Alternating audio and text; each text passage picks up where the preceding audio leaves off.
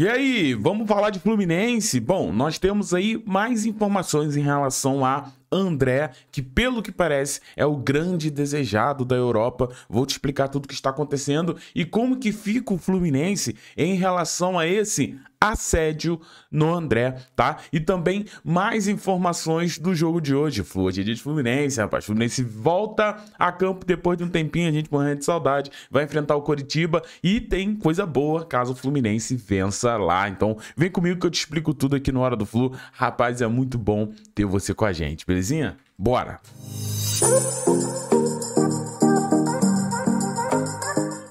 Alô, torcida tricolor, tudo bem com você? E é isso, começando a semana da melhor maneira possível com o jogo do Fluminense. É, tá animado pro jogo de hoje? Já comenta aqui embaixo o seu palpite, quanto que vai ser o jogo, o que, você acha que vai acontecer. Também vou deixar minha opinião aqui. Mas antes, se inscreva aqui no canal, tá? Se inscreva aqui no Hora do Flu. Ative o sininho tricolor também para todas as notificações e assim você será notificado quando lançarmos vídeos novos. Olha que facilidade, olha que coisa linda, olha que que beleza. Imagina, tu tá de boa, Pintou notificação, pintou novidade Fluminense, você vem para cá e fica bem atualizado. Também peço gentilmente, se você gosta do canal e é um dos fiéis aqui do Hora do Flu, não esqueça, clique no gostei agora. O gostei vai nos ajudar a continuar crescendo aqui na plataforma, então é muito importante a sua interação, tanto o seu comentário, a sua inscrição e pra gente terminar, o seu compartilhamento, tá? Vamos encher as redes sociais aí, WhatsApp, grupo da família, grupos de Fluminense da sua cidade. Coloque esse vídeo, vamos atualizar todo mundo, geral merece ficar sempre bem informado. E aqui, com esse trabalho sério do Hora do Flu, tenho certeza que você pode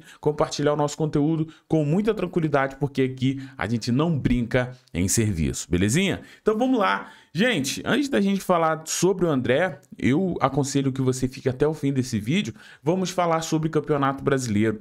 Flusão ficou ali, de camarote, vendo tudo acontecer na rodada e nós somos o último jogo para fechar a rodada 16, tá? E o que que acontece?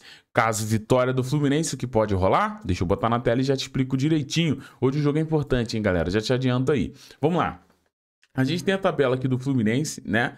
é, do Fluminense não, né? Do Campeonato Brasileiro. A gente tem o Botafogo que empatou com o Santos, né? A gente tem o Grêmio com 29 pontos. O Flamengo empatou em casa, né? Com um dos lanternas aí do, do América Mineiro, né? Então, assim, caso o Fluminense vença, o Fluminense também vai a 28 pontos, tá? E pode voltar ao G4. Então, assim, é muito importante que o Fluminense vença, apesar do jogo não ser fácil. O Coritiba tá aqui, tá, gente? Lá na zona da degola, na famosa boquinha da garrafa, se bem que aqui já entrou na garrafa, né? Então aqui tá muito complicado pro Coritiba, a Fluminense tem que aproveitar esse mau momento que vive o time lá e vencer, tá? Sei que não é fácil, já tem um tempo que a gente não vence lá.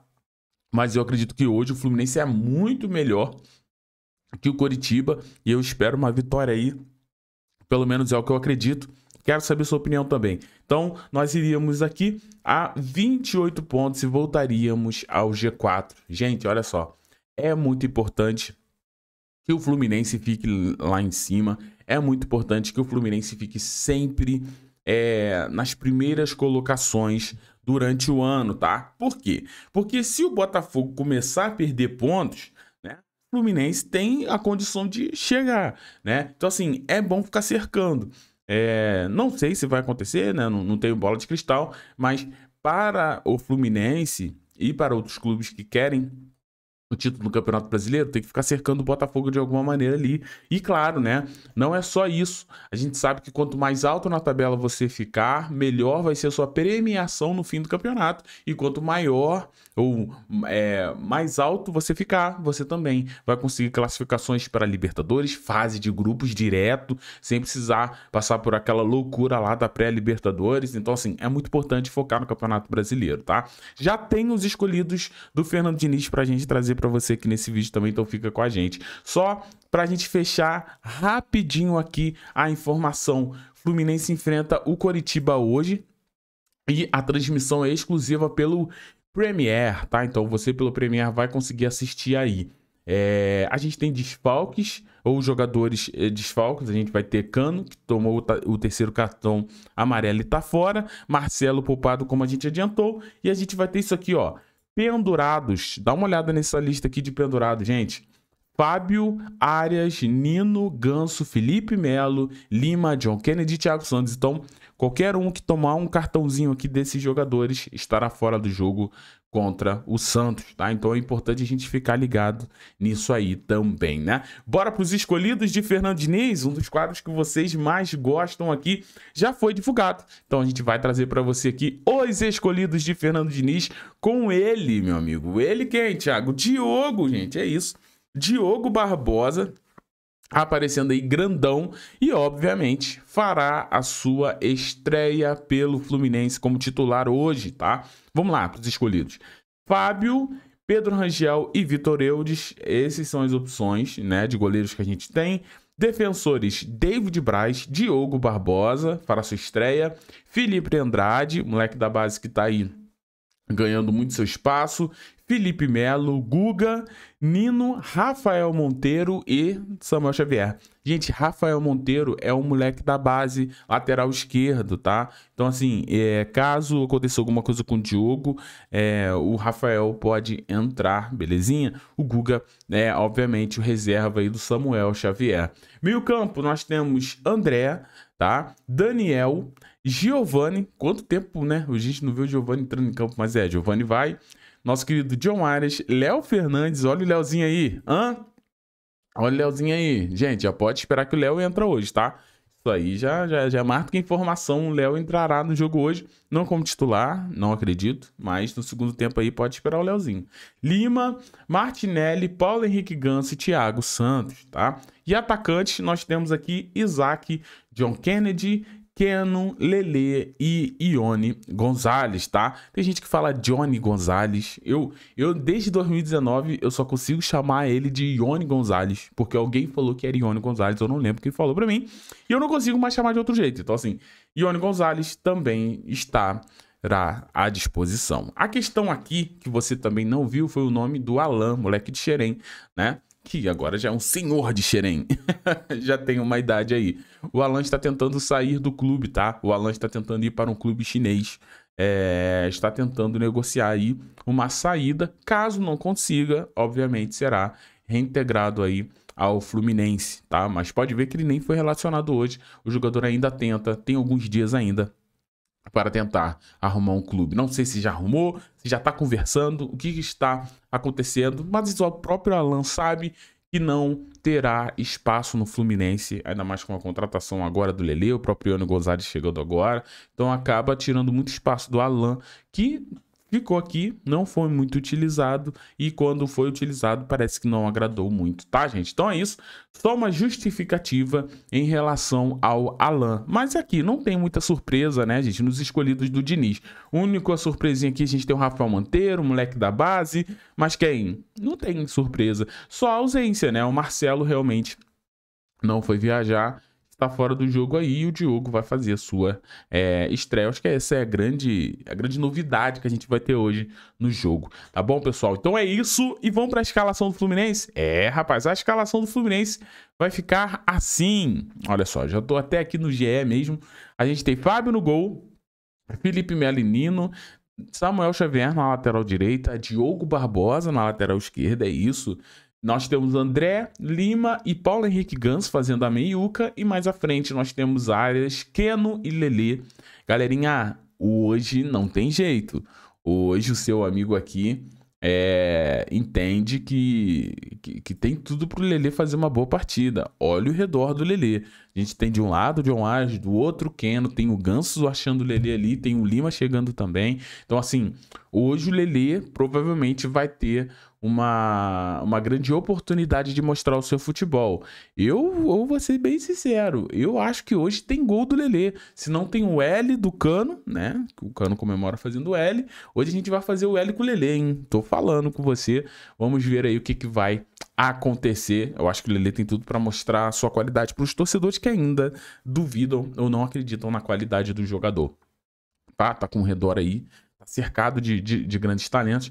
Tem o Keno voltando, né, galera? É sempre bom o Keno voltando, ficou de fora do jogo contra o Flamengo, né? Tomou um cartão amarelo ali, que ele ficou muito triste, chegou a chorar por causa do cartão amarelo que recebeu, né? Agora você tem ele de volta contra o Curitiba, Curitiba que vai tentar ficar um pouco mais com a bola, e você vai ter um Fluminense aí, aproveitando aí dos contra-ataques, com muita velocidade de Lele e Keno, tá? Então vamos lá, tô animado para esse jogo.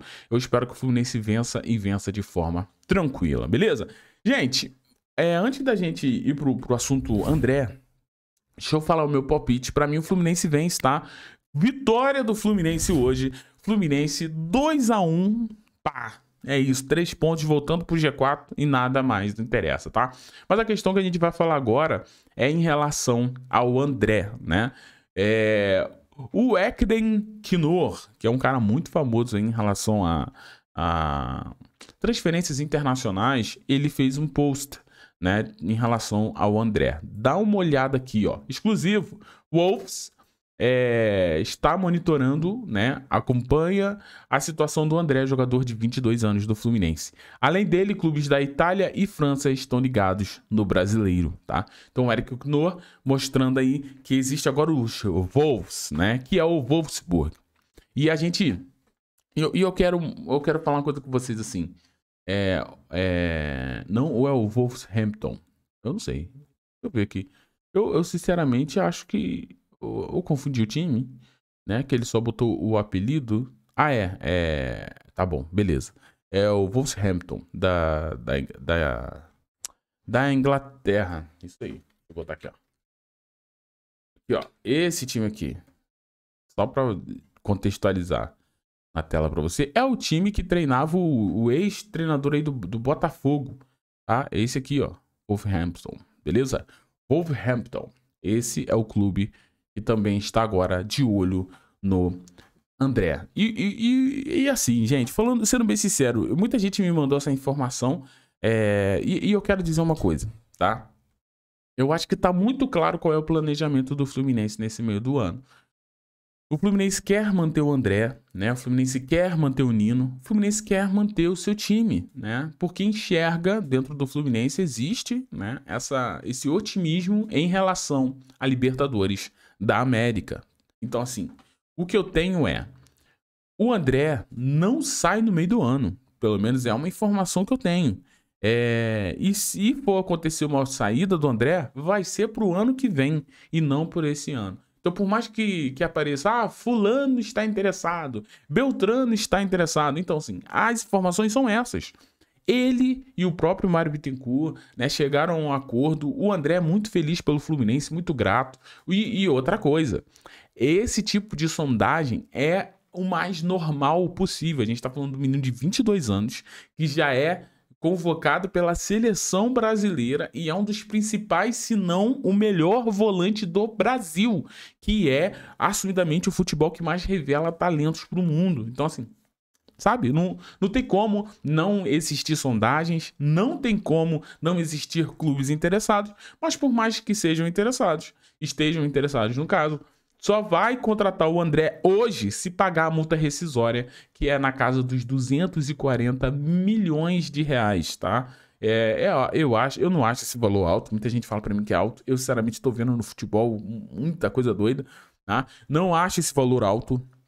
Acho que o Fluminense tinha que tomar cuidado com isso aí, porém, só se pagar a multa rescisória que vai ter o André agora. Essas são as informações que a gente tem aqui. Então, assim, é, vamos aguardar. Não acho que esses times vão fazer esse investimento no André, por mais que eu fico com o pé atrás, porque não considero um valor tão alto, não, tá? E comente, eu queria muito saber a sua opinião. Ah, Thiago, qual? Você acha que essa multa de 240 milhões de reais alta em relação ao André? Cara, eu não acho não, irmão. Eu não acho não. Mas, bom, essa é a minha opinião. Quero saber a sua. Então, André fica no Fluminense, tá, gente? Pelo menos até agora. Se inscreva no canal, deixa o like e muito obrigado pela presença de todos vocês hoje em dia do Fluminense. Quero saber sua opinião. Quero saber quanto que você acha que o Fluminense vai ganhar. Por favor, gente. O Fluminense ganha de quanto hoje? Comente aí. Um beijo no seu coração, deixa o like, se inscreva, compartilhe esse vídeo nas redes sociais e ajude o canal do Flow a continuar crescendo. Valeu, pessoal. Forte abraço e falou!